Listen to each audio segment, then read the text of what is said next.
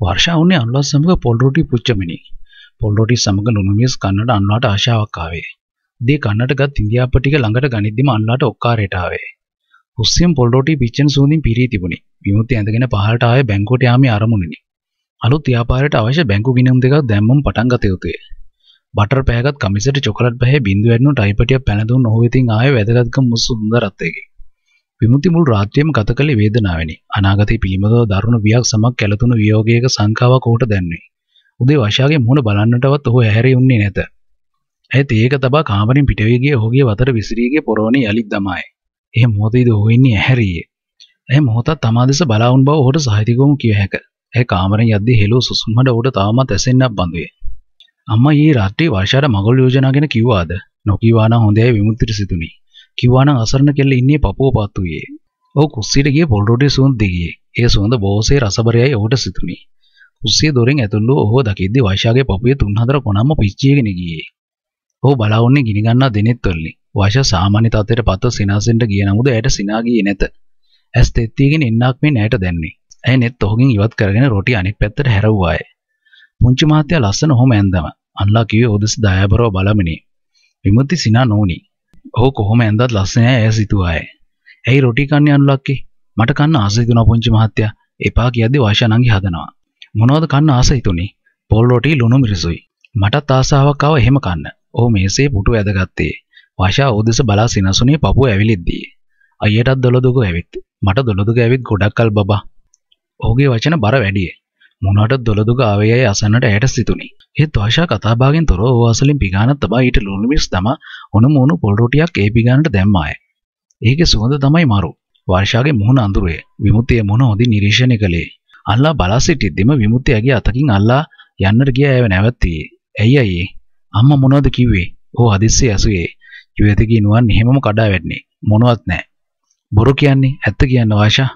වාෂා වමතින් අල්ලා ඔහුගේ අත ඇගේ අතින් වෙන් කර ගත්තාය. අල්ලා දිදනා දෙසම් බැලුවේ දුකිනි. නැන්ද කියන්නේ ඇත්ත. මම මොකෙක්ගේ හරි එකෙක්ගේ ඇඟේ එල්ලෙන්න ඕන කෙල්ලෙක්. නැත්තම් ජීවිතයක් නැහැ. යුගදියට ඇඬුනේ. ඔහු කන්නට ගත් රොටි කැබැල්ල ඔහුට සිරවියේ. රොටි එහෙමම දමව විමුක්ති නැගිට්ටේ. ඔයා එච්චර නොටෙන කෙල්ලෙක් නෙමෙයි. මොනවද අයියේ මගේ වටින්නේ? මගේ අම්මා ඉන්නවද? තාත්තා ඉන්නවද? සහෝදරයෙක් ඉන්නවද?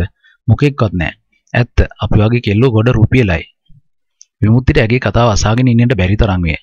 ඔහු තරමක පහරක් ඇගේ කම්මුලට ගැසුවේ. වයිෂා කම්මුල අල්ලාගත්තේ ඔහු දෙස පුදුමයෙන් බලමිනි. ඔහු තමාට තරහට නොගහන බව ඇයට දසදහස් වාරයක් විශ්වාසය. තමා කිව් දෙයින් ඔහුගේ හිත රිදෙන්නට ඇත. වයිෂාට ඇඬුනේ ඔහුගේ කම්මුල් පාරේ වේදනාවට නොවේ. ඊ රාත්‍රියේ පුරාම නිදින ලබා හදවත විසින් අවුලාලු ආත්මානුකම්පාව බවයි. ඈ හඩමින් මුර්තැන්ගෙයින් පැත්තකට වී කිවින්දාය. විමුක්ති අල්ලා දෙස බැලුවේත් අල්ලා විමුක්ති දෙස බැලුවේත් එකම විටේ. ඔහුගේ ලය දස දොළොස් කඩකට කැඩෙන්නට විය. අහිංසක කෙල්ලට මුලින්ම අතේසුවේ තමා වීමට පුළුවන්. ආයෙ ওই කතාව කිව්වොත් මං ඔබව මරනවා නංගි. ඔහු දුක පිට කළේ තරහාවක් ලෙසිනි. ඇය තොල්පට තද කරගෙන ඇඬුම් වාවා ගන්නට පෙර දැරුවාය. ඔහුගේ අත්පාර වැදී කමුල් රිදෙන්නේ නැත. ඒත් පපුව ඇවිලේ. විමුක්ති ඇඟිලි තුඩු වලින් තම නලත මිරගාගෙන මොහොතක් බලා උන්නේ. අන්නවා කලබල නොයේ මේ සිදුවන සිදුවීම් සියල්ල පිටවස গুপ্ত ආදරණීය බවක් ඇය දුටු නිසායි. මෙසේ බැනගන්නේ ගහගන්නේ කේන්තියට නොවේ ආදරයට. අන්නවා හොද සෑහෙන තරම් දුක්බර බැල්මක් හෙලා පසු ඇය දෙසම දැස් ගෙන ගියායි. ඔහු මොහොතක් බලා හිඳ ඇය අභිසර ගියේ. වාෂා එහෙමම අනිත් පසට හැරී උන්නයි. ඔහු ළඟටම ආබව ඔහුගේ සුවඳින්ම කිව හැක. මට සමාව වෙන්න නංගි මට කේන්ති ගියා. නැත ඇයට දිවුරා කිව හැක. හදවතේ ඔහු කරේ අල්ප මාත්‍රයක් හෝ තරහක් නැත. ඡායා මාත්‍රයක අහිතක් නැත. ඔහුගේ කමුල් පහර රැක බලා ගැනීම සුරක්ෂිතභාවය හා මුසු ආදරයේ පියෙකුගේ වේදනාබර උදාසට සමානයි. මං මං තරහ නෑ අයියේ. ඒ කුඩා දැරියකසේ ඉකිමුදුන් පාලනය කරගත නොහැක හෝල්ලමින් කීවාය. ඔහු අසරණව අන්ලා දෙස බැලුවේ. මේකට මෙහෙම අඩන්න එපා කියන්න අන්ලොක්කි.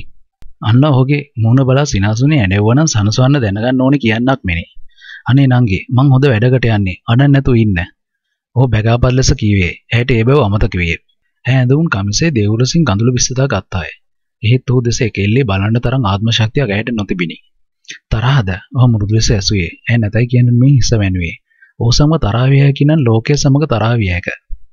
හවස බුක් ෂොප් එකේ බිල්ලින් එක බලන්න යනවා. අයියේ අක්කයි එයි. එයාලත් එක්ක යන්න ලෑස්ති වෙන්න. ඇය වරනම් හිස ඇසුවාය. අනේ අයියේ මේ පාංගඩ කෙල්ලව මේ වැඩවලින් අයින් කරන්න. අයියට බුදු බව වත්තේ. ඔය ඔය තව පාරක් මගින් කන්න ඇයි නිහිඩුවේ ඔහු ගසවියයි බියට නොවේ. ඔවෙන සහෝදරකින් පහරක් කෑවද ඒද සැනසීමකි. ලොවේ ගසන්නෝ දෙවර්ගයක් ඇත. වැඩි පිරිසක් තරහට ගසති. ටික දෙනෙක් ආදරයට ගසති. ඔය අත්වන්නේ දෙවෙනි කොටට එනව නේද ඇයි ස්වනේ එතරම් කැමැත්තකින් නොවේ විමුති තවත් මොහොතක් ඇදස බලා හිඳ කුණාටම මෙන්නෝ සුස්මක් කියලා මුරුතන්ගේ පිටවිය නතර කරගත් කඳුළු ඇගේ දැස් බොඳ කරමින් ගලාගේ ඔහු ගීපසුවේ අන්න ඇ වෙත පැමිණි කුතුහල්න්නේ මේ කිසිවක් ඇය නොදනි. නංගි මොනෝද මේ වෙන්නේ? බඩ්නම් මොනවත් තේරෙන්නේ මට තේරෙන්නේ අල්ලක්කේ. ඇයි පුංචි මහත්තයට එච්චර කේන්ති ගියේ? ඇයි එහෙම කේන්ති යන දෙයක් ඔයා කිව්වේ? අන්ලක්කට මං එක කතාවක් කිව්වේ නෑ ඒක කියන්න මටත් දුකයි. ගෙදර කිසිවෙකු සිටියේ නැත. අන්ලා වර්ෂාව කෑම මේසේ පුටුවකට බර කරගත්තායි මට මේ වහලයට ජීවිතයක් නෑ අන්ලක්කේ රත්නපුරෙන් ඇවිත් මං කරගත්තේ ලොකු මෝඩකමක්. ඒ අම්මගේ සුවඳවත් තිබ්බා. රත්නපුරේ ගෙදර බිත්ති පවා මට ආදරේ. ඇත්තට මං දුකින් තමයි හිටියේ. ඒත් එච්චර පිච්චුනේ නෑ. ඒත් දැන් කියලා වැඩක් නෑ. නංගි දැන් මගිනුත් ගුටි කනවා. පුංචි මහත්තයා ගෙව්වේ ඇත්ත. ඕවා කියනකොට මගෙත් පපුව පිච්චෙනවා. වෙච්ච දේ කියන්නකෝ. අයියා සේරම දන්නවා. එයාටත් දුක ඇති. අල්ලක්ක දන්නවද බන්දුල කියලා මෙහෙන බිස්නස් කාරයෙක්ව? බන්දුල මුදලාලි. ඔව්. ඒ මොන බිස්නස් කාරයෙක්ද? කසාද මැදලා දික්කස වෙච්ච ගඩොල් කාරයෙක්නේ. ඇයි? වර්ෂා දැසේ කඳුළු පුරාගෙන සියල්ල අනුලාට කීවායි. ඔහුගේ තරහවත් ඇගේ දුකත් අන්ලා තේරුම් ගත්තේ ඒ විටේ. ඒ මහා අමානුෂික යෝජනාවකි. අල්ලාට පවා මේ ගෙදර අය කරේ මහා පිළිකුලක් දැන්නේ අක්කට දැන් තේරෙනවානේ මම මොනාරි තීරණයක් ගන්න ඕන. මට ආදරය කරන්න ඕනේ නැහැ. කසාද බඳින්න ඕනත් නැහැ. ඒත් මෙහෙම මගේ අම්මා මල් පැලයක් වගේ හදලා දුන්න ජීවිතේ නාස්ති කරගන්න ඕනෙත් නැහැ. ඊට වඩා හොඳයි වශා යමක් කියනට ගොස් ඒ ගිලගත්තාය අල්ලා මේසේ මත තිබූ වශාගේ සුරත මත වමත බර කළාය මොකද්ද ඊට වඩා හොඳ? මේ වගේ කොල්ලෙක් එක ටික දවසක් ඉඳලා බබෙක්ව හදාගෙන රත්නපුරට ගිහින් ඒ දරුවව හදන එක. අන්නා වශාගේ සිතුවිලි පිළිබඳව පුදුම වූයේ නැත. ගැහණිය තම ජීවිතය පිළිබඳව තීරණ ගන්නේ පුදුමාකාර ලෙසනි. ඒ ලෝකයේ ඇති නීති න්‍යායයන්ට අනුව විග්‍රහ කළ නොහැකි තරම් සංකීර්ණ දෙයකි. මං ඉන්නේ අල්ලක්කා ඉන්න තත්ත්වයටත් වඩා පහළ තැනක. අක්කට ධනය අයියා ඉන්නවා. මේ වහලට නැතත් ධනය අයියා අක්කව කොහේ හරි අරගෙන යනවා. ගිහින් අක්කවයි මේ බඩේ ඉන්න දරුවවයි බලා ගන්නවා. ජීවිතය ගැන අනාගතය ගැන අක්කට බයක් නැහැ. ඒත් අක්කේ මට හරි බයයි. මගේ අනාගතය ගැන මොනවා වේද කියලා කවුද දන්නේ? මේසේ හිස කසාගෙන වාෂා ඉකිමිද මිද හැඬුවාය. අන්න අනේක වාරයක් ඇව සනසන්නට වෙරදැරු නමුදු යුවතිව නලවන්නට ඇයට නොහැකි විය. මේ අනන්නේ පපුව පලාගෙන එන ආත්මානුකම්පාවම් බව අන්ලා දැනේ. ඒ හදවතේ ගැඹුරු කැපුම් තුවාලයක් ඇති කරන දෙයකි. ඔහොම අඩන්න එපා. තාම මොනවත් උනේ නෑනේ. අපි හිමීට හිතලා තීරණයක් ගමු නංගි. නංගි තනි වෙලා කියලා නම් හිතන්න එපා. මම මේ මගේ හදවතින්මයි කියන්නේ. අන්ලාගේ දැස් බඳුයේ ඇයි මේ ටික කීවේද? දැස් පොඩි කරමනි. මං දන්නවා අන්ලක්කේ ඔයාව විමුක්ති අයෝ මේ දක්කව සක්විති අයෝ දකිද්දි මේ කොළඹ දාලා යන්න හිතෙන්නේ නෑ මං මං හිතුවේ නෑ මාව මෙච්චර අසරණ වෙයි කියලා. මෙච්චර ඉක්මනට මගේ බෙල්ලට තොණ්ඩු වැටේ කියලා. හරි නංගි වැටුනේ නෑනේ. කොහොමද නංගි හිමීට වාගේ ජීවිතය හදාගන්න. එහෙම කරන්න වෙනවා නංගි දැන් නංගිගේ අම්මා තට්ට තනියම රත්නපුරේ ජීවත් වෙන්න හිත හදාගත්තේ. අම්මටයි මටයි එකම විදියට දෛවය සැලකන්නේ. දෛවය කොහොම සලකනවද කියලා හිතන්න තාම ඔයාට වයසක් නෑ. දැන්ට මේ වහලයට ඉන්න. ඒත් හිමීට වාගේ කියලා ස්වාධීන ජීවිතයක් හදාගන්න. මට උදව් කරන්න අක්කේ. අනේ රත්තරන් ඔයාට නොකරන උදව් තියනවද? මං අමතක කරන්න. පුංචි මහත්තයා සක්විති මහත්තයා මේ දනවන ඔයාට උදව් නොකර ඉන්නවද? එච්චර පහත් ඉදිරියට ඔයා ඔයා ගැන හිතන්න එපා. වාෂා හිසෝසවා ඔහු කම්මුල් පහර ගැසූ වම් කම්මුල පිරිමැද්දායි. තමාගේ දුක ගැන කියද්දි ඌට ඒ තරම් ආවගියක් ආවේ ඇයි? හොඳ වැඩි. දුන්න හොඳ පාරක්. මටත් පුදුමයි චූටි මහත්තයා ඔයාට ගහනවා දැක්කම. ඇත්තනේ පපුවක් තියෙන කෙනෙකුට වා කියන සමහර ඒවා අහන් ඉන්න බෑ. පව් හිත සෞතු කරගෙන ගියාද දන්නේ අද බැංකුවට ගියේ. එයාගෙත් මූණ අද එච්චර හොඳ නෑ නැන්දයි මාමයි අයියටත් ඔය කතාව කියලා. කොල්ලට බයක් හිතෙන්නේ නැති. අන්ලා සිනස්සී කීවායේ අයියට මොකට බය හිතෙනවද? පව් කියලා හිතෙන්නේ නැති. කසපු පුරන්නේ පෙරහැර ළඟ එනකොට තමයි. අන්ලා කිව් වචන ඇගේ පපුව බාරගත්තේ කාන්සිට කිව් විහිළුවල් ලෙසනේ. ජීවිත සම්බන්ධයෙන් බරපතල අර්බුදයක මැද ඇයුන්නේ පීවසියා නොමැතිවේ ආශාට වඩාත්ම විය දැන්නේ ඔහුගේ අලුත් පොත්හලට තමාගේ කැපකිරීම කරන්නට බැරි වෙත හිතියේ. ඔහු වෙනින් දැවැන්ත මානසික වීමේ අහිංසක තණ්හාවක් ඇයට විය. ඒ සමහරට මේ ජීවිතයේ තමා අතින් වන සුන්දරම පින්බරම කටයුතු වීමට පුළුවන්. නිවසේ දුරකථනයේ නාදුවේ වයිෂා මූණ පිසදාගෙන සායලට පැමිණ රිසීවරේ අතර ගත්තාය. ඇයි නාසය ඉහළට ගත්තේ? හඬ නොනගෙන ලෙස නමුදු දුරකථන රැහැනේ එහා කොනේ වුණු විමුක්තියේ මනාව පැහැදින ගත්තේ. බබා ඇය වහා ඕ හැඳින්න ආයේ.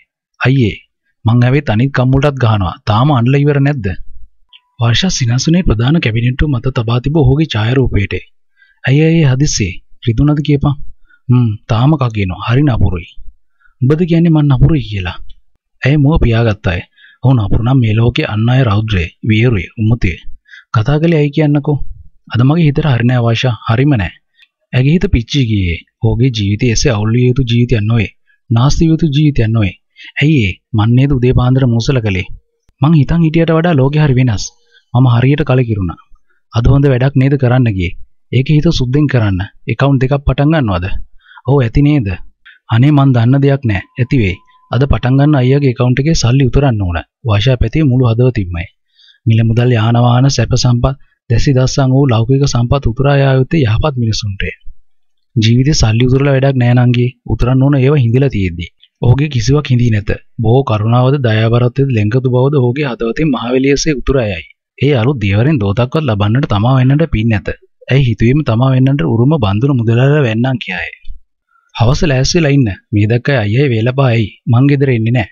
මෙහෙමම සමාගම් මැදුරට යනවා. ඔයා දාපු නම ලියාපදිංචි කරන්න. මේ සියල්ල බිරිඳ ක්‍රමෙන් තමාට කියන්නේ ඇයිද ඇයට තේරුම් ගත නොහැක. එහෙත් ඇය ආශාවුන්නේ ආශාවෙනි.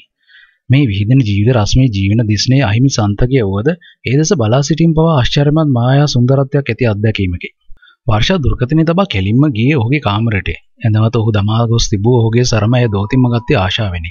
මේසා ක්ලේශ ලෙස මේ ආත්මයෙන් තමා විඳින සන්තුෂ්ටිය කුමක්ද? ඔහුගේ ජීවිතය හා ඇලිමින් පැටලිමින් හදවත රහසේ විඳින ශ්‍රද්ධාව කුමක්ද?